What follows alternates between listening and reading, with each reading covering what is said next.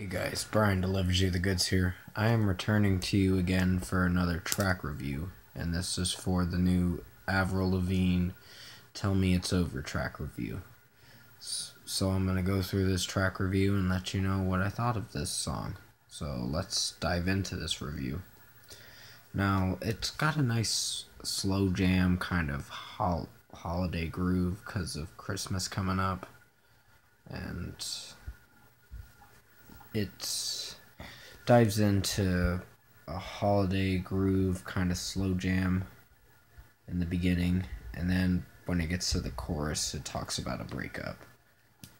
So once you hit that chorus breakdown it just talks about a relationship going wrong and that this person wants to say that it's over mostly.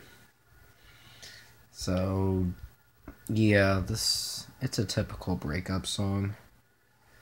I found the song to be fine, but the tone of the song was good in a way, but the sound mostly was just mellow and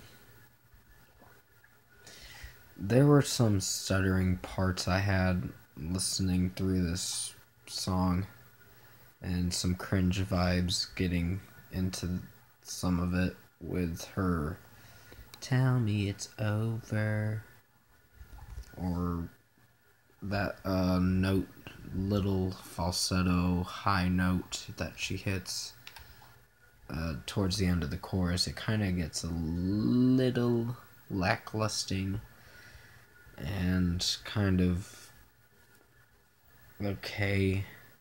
Sorry, my facial expression will help you to understand what I think of the song.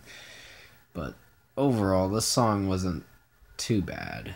I think out of 5, I'd give this a 4.5 out of 5. It's a little less better than the Head Above Water, because Head Above Water, it had a meaning to it.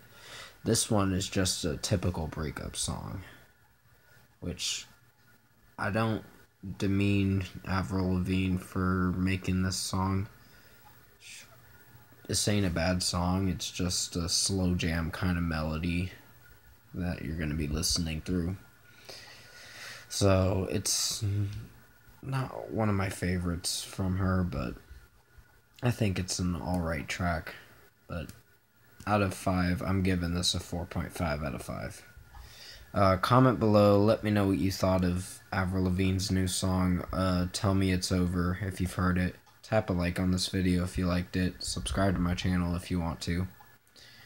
I will be returning to you Friday for the Zayn Icarus Falls album review, or sometime Friday or by the weekend. I'll be doing it, and uh, Crazy 88's Burning Alive album review. So definitely stay tuned for that. I hope you enjoyed this review, and I'll see you in my next video.